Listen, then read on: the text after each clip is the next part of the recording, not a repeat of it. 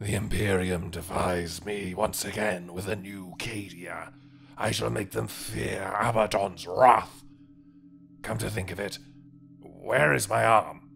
Where is the talon of Horus? Getting a manicure as you commanded, sir.